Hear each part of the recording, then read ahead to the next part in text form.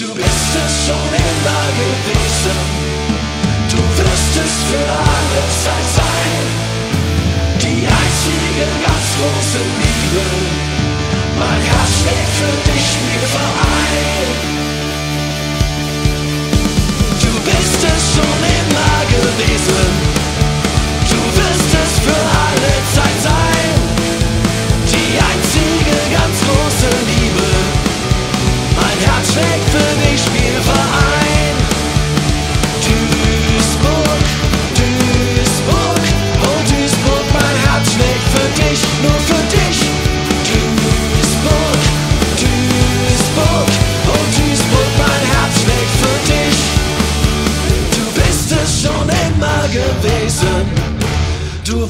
es für alle Zeit sein.